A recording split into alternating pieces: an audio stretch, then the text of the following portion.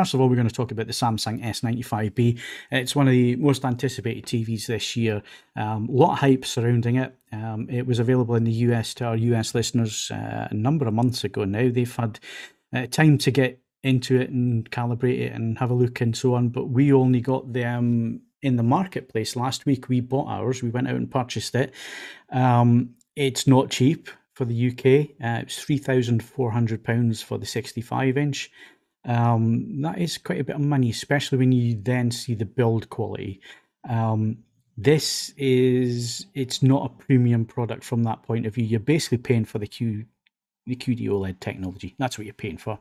Um, you're you're definitely not paying for build quality. The uh, uh, the panel it moves. It's very flexible. Um, it could quite easily be damaged um, if it's being moved around quite a bit. For most people, that won't be an issue um, you're going to put it on your TV stand and it's going to be there for the next five to 10 years. Um, if you're a TV reviewer and you're somebody who puts th- stuff up all the time for uh, comparisons and you're continually moving things around, it flexes, it moves about. And if it's packed wrong in the box as well, and I have heard um, a couple of stories from the US where they've turned up and the panel has been warped. Um, that is a possibility. Uh, the build quality is not great. The stand is a bit plastic. Well, it's all plastic um, at the back. It's nicely designed. There's lots of uh, cable management and so on. And it's got a nice sort of um, aluminium look to the front. But again, in terms of the build quality, the back panel is again plastic. Um, so corners have been cut. Uh, there's no doubt about that. This is not a luxury product. It hasn't been built like a luxury product. But again, it's because it's uh, new OLED technology. It's QD OLED. Um, so let's cut to the chase. What were the numbers? Well, I, my initial testing, and I'm going to be testing for a number of weeks. You can see that uh, the TV is behind me with an LG C2 uh, next to each other at the minute, both 65 inch TVs. Uh, both of them at the moment are in the filmmaker mode uh, out of the box. The eagle eyed will be able to tell which one the Samsung is and which one the LG is um, just by the white, uh, the way it displays white. One is very red, the other is very cyan. That's the spectral output of how the different panels work. Um, so that aside, the big numbers, uh, everybody wants to know peak brightness, uh, 1000 nits. Yeah, that's uh, on a 10% window in filmmaker mode. It was exactly the same on an 8% window, on a 9% window, and so on. We did check the different window sizes. I'm going to come back to that um, in a second. Uh, and 200 nits basically um, on 100% white, which is a good 50 nits above most of the competition out there. Um, although the G2 uh, does push probably about 170 nits, so you wouldn't have noticed the the difference between the G2 and the and the Samsung there. But uh, again, impressive numbers. Uh, as far as I'm aware, there is no heatsink on, on this panel, um, so it really is pushing that um, and the pushing the panel. Now, a bit of controversy uh, was generated by a video that Vincent did at HDTV Test, um, where he identified that the EOTF tracking uh, was varying depending on the window size being used for the measurements. And he suggested that it was perhaps um, something that was built into the TV uh, to manipulate that when the TV was being tested. So basically, a a diesel gate for TVs. It, it would oh. know when it was being sent a 10% window and it would switch into the I'm going to uh, measure accurate mode. Um, there's been quite a bit of skepticism about this uh, and other testing and so on. Um, I've done my testing, uh, used a Murideo uh, 7 generator to generate the, the windows, uh, Calman software, and um, varied the, the window size. So measured, first of all, at 10%, and it measured the EOTF tracking uh, where it should be in terms of the standard, and then bumped it down to 8% window. Uh, did the same test again, and um, it was brightening it. So it was doing the old Samsung thing where it brightens mm-hmm. the, the EOTF from about 300 nits uh, to about 800 nits. There is a, a very distinct bump in the brightness. Um, in terms of SDR, uh, filmmaker mode in SDR was fairly inaccurate um, for filmmaker mode, which I was surprised about because the, the UHDA are quite strict about manufacturers. If they're going to use filmmaker mode, um, then it has to track as close as possible to the standards out of the box. Obviously, there is variance. There's going to be panel variance and so on. It was too red, um, and and it's quite obvious that, that that was the case. So it is a little bit inaccurate if you're looking for accuracy out of the box. Uh, filmmaker mode in SDR was a little bit accurate. The color gamut appears to be fine, even uh, using different window sizes.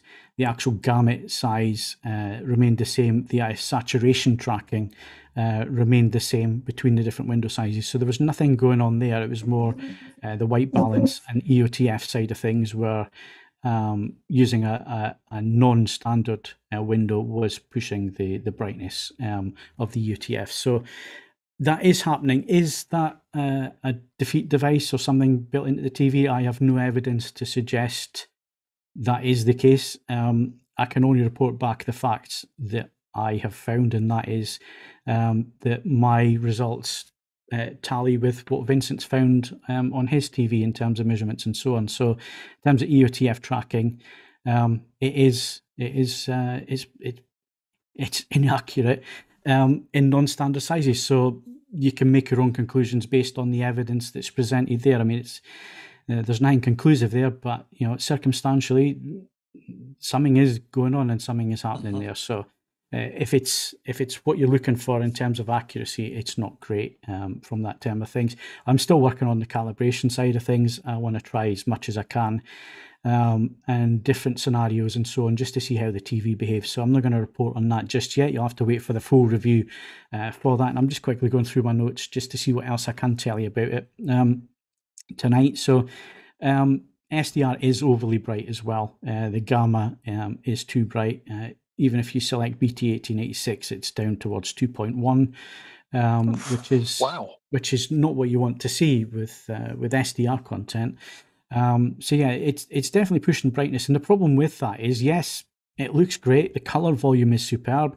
Uh, DCI P3 and UV was 99%, and XY. Um, sorry, XY was 99%, UV was 100% of DCI P3 uh, in terms of coverage. So you know, it's got wide color gamut and all the rest of it. It it pushes it. Everything is pushed for for brightness, and the problem with that is that you then start to scrub detail. Uh, you start to lose detail. You start to get overblown uh, side of things. Um, one thing I, I really do notice with this is uh, is red is pushed quite a bit. Um, so not only is the uh, and you can see it really quite clearly there, you know, between the LG and the, the Samsung, uh, and they're both in filmmaker mode. This should look uh, very similar, but obviously the it's different panel technology. You have that different uh, spectral read uh, from there, so it's it's not great um, if you're looking for accuracy. Now, if accuracy is not your thing, if you want a nice bright glaring garish colors and all the rest of it, and you want something that's going to pop off the screen, the Samsung will do that for you. All Samsung products do that. Um, if that's what you want, that's uh, that's it's going to do that. If you're looking for accuracy, I wait on my review. Um, I, I really want to spend a bit more time. And as you can see, we have got the facilities to test the TVs side by side and measure them side by side and so on. And we will film them side by side as well. Um, you know, looking at it from a, a camera that's not great built into my laptop and so on. Um, don't judge any picture quality on the on the camera um, and what you're seeing over this stream, but um, yeah, it's it's doing a couple of naughty things. Other things that I oh. just wanted to quickly mention was the UI is buggy and it is slow at times. Um, and then at other times it'll fly along like it's the fastest thing ever. So uh, again, it's a bit hit and miss, a bit inconsistent there. Um, build quality, I've already covered that. Um, so in terms of QD OLED, do I like it? Yes, I think it's great. Um, it's really, really good technology. Uh, I can't wait to see what else we get this year, especially from Sony. I've already seen the Sony; it is really impressive. Um, we will get hold of one for long-term testing. We're going to put all these screens together. Um, how does it stack against the G2, the LG G2? Very close for most things. Um, both of them are very, very close. Um, color volume wise, you're going to get that little bit more out of the Samsung, but again, at the minute, it's if accuracy is, is your thing, I would hang on. Um, don't go out and buy straight away. Uh, let's see what the rest of the year has to has to offer. Um, but in terms of my initial thoughts, it's impressive.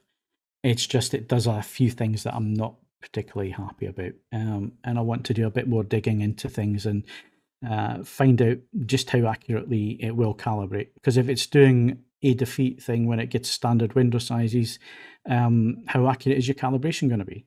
Because if you're getting inaccurate readings and, and you're working on in, inaccurate readings, it, it's going to be inaccurate. So uh, again, I want to have a, a good uh, look at that. But any thoughts from uh, you, Jules?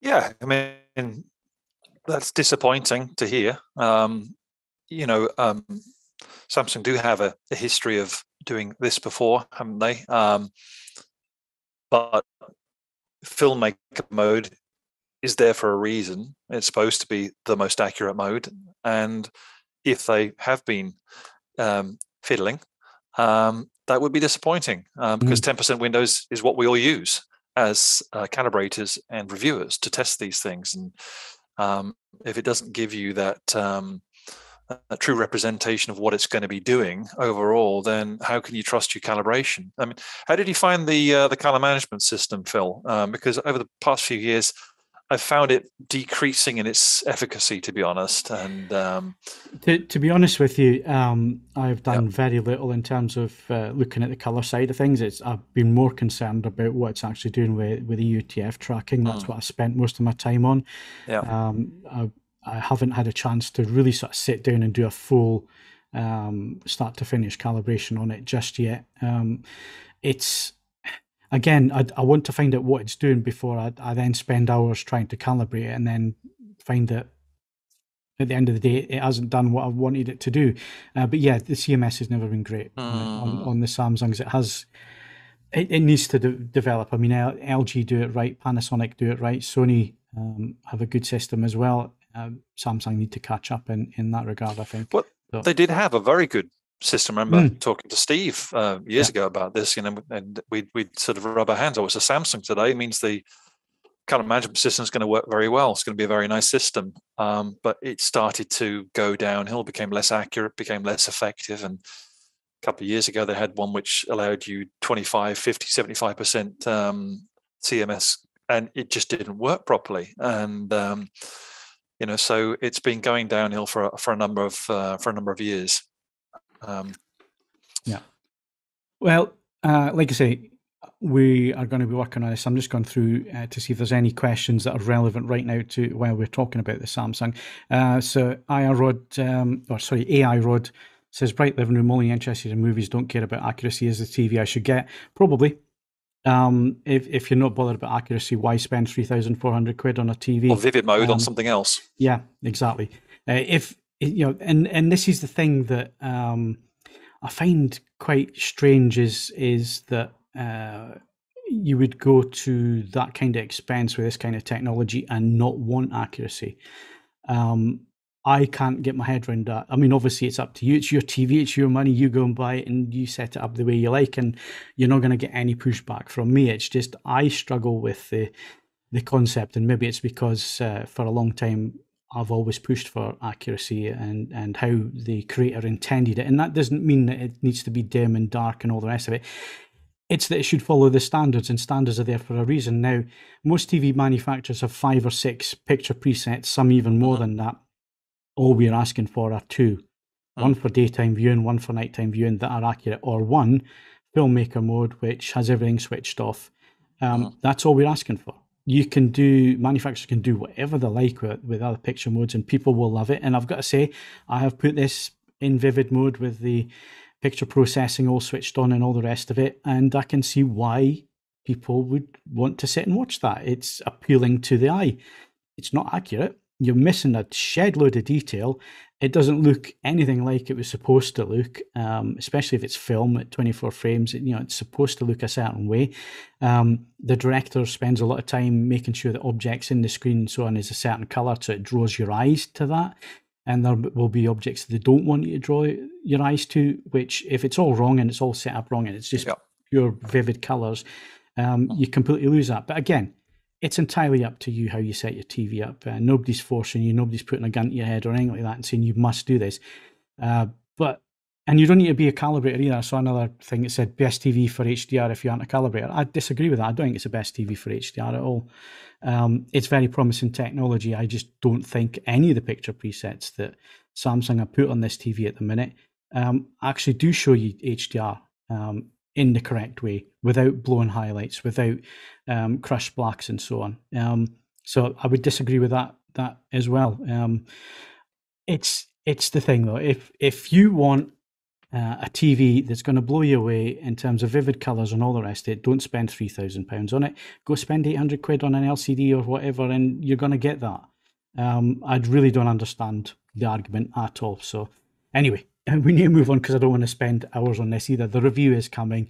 Um, we bought this TV; it's purchased, so it's staying around. It's not going anywhere for a good few months at the minute. We're going to get all the TVs in together uh, side by side. We're going to test them all. And at the end of the day, we're not going to tell you by X, Y, Z.